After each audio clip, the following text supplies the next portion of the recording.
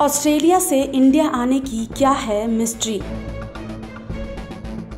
मौत की सच्चाई रूह कंपा देगी। कार गैरेज में पति हो गया लापता।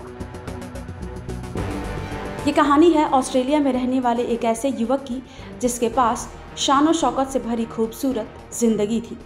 लेकिन अचानक एक दिन ऐसा क्या हुआ कि 30 साल का ये युवक अपने घर से ही लापता हो गया। और इसके बाद जो खबर सामने आई, उसे सुनकर आपके होश उड़ जाएँगे। आपकी स्क्रीन पर ये जो तस्वीर नज़र आ रही है, ये उसी युवक की है। इनका नाम है अरविंद। अरविंद ऑस्ट्रेलिया के सिडनी शहर में मृत पाए गए हैं।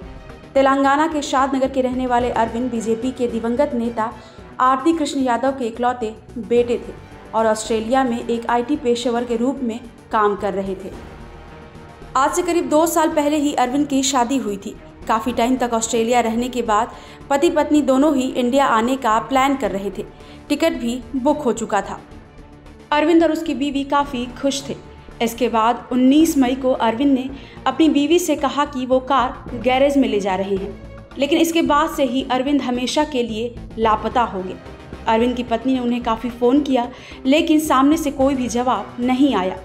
जिसके बाद बीवी ने 20 मई को न्यू साउथ वेल्स पुलिस में गुमशुदगी की रिपोर्ट दर्ज कराई। पुलिस ने काफ़ी जाँच पड़ताल की, लेकिन अरविंद का कुछ भी पता नहीं चल रहा था, जिसके बाद पुलिस ने जाँच के लिए एक टीम बनाई और अरविंद की लाश सिडनी में एक समुद्र के किनारे पाई गई। लाश की हालत काफ़ी ख़राब हो चुकी थी, जिसके बाद डीएनए परीक्षण किया गया और जाँच से ये साबित हुआ कि ये शव अरविंद का ही है। इस खबर के सामने आने के बाद बीवी के मानो पैरों तले ज़मीन खिसक गई।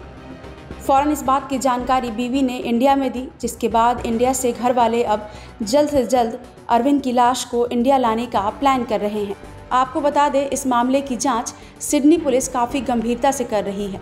जैसे ही इस मामले में कोई बड़ा अपडेट सामने आएगा, हम आप तक ज़रूर लेकर आएँगे। ब्यूरो रिपोर्ट, क्राइम तक।